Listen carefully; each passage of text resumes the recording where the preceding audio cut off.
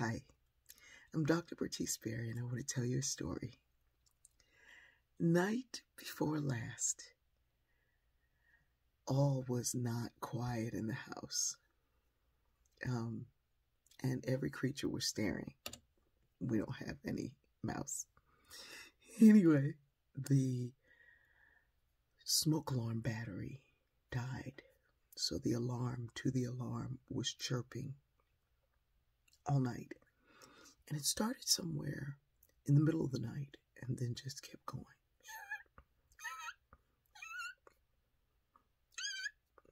All night long.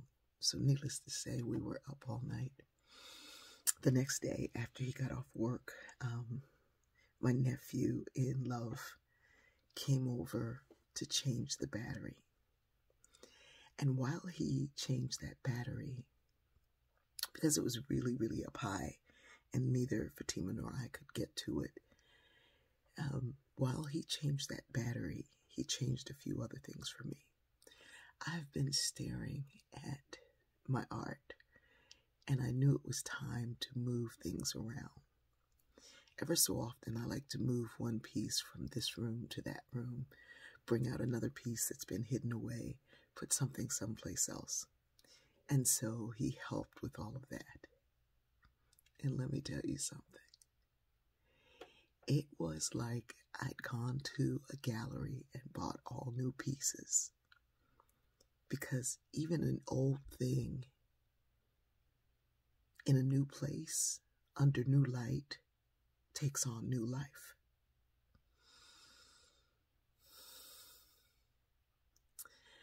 even when you don't change the thing. And you change the position of the thing, it changes the perspective of the thing. It gave me and still gives me so much joy to see these pieces in different places, in different rooms, under different light. In fact, some new art light art lights are arriving today, which makes me even happier. Some of the pieces will be lit from the bottom and a few will be lit from the top.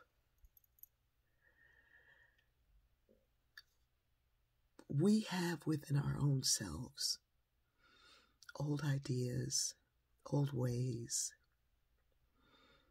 old values,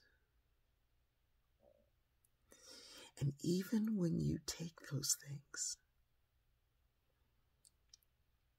and put them in a new room amongst new friends, rubbing off the ideas of somebody else, standing in the light of someone else, even those old quirks about you take on a newness.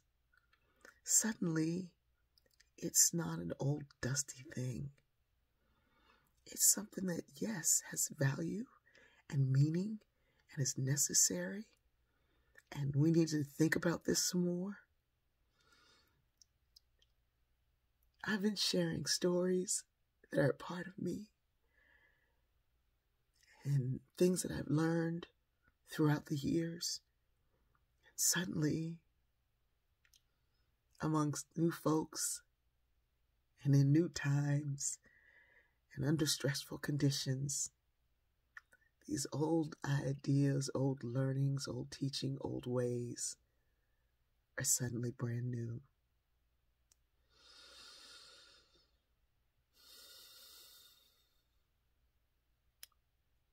You don't have to leave your house to be appreciated.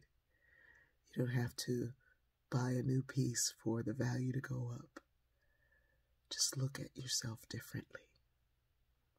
Look at the thing differently. Look at your family, your loved ones, your friends under new light. I love you.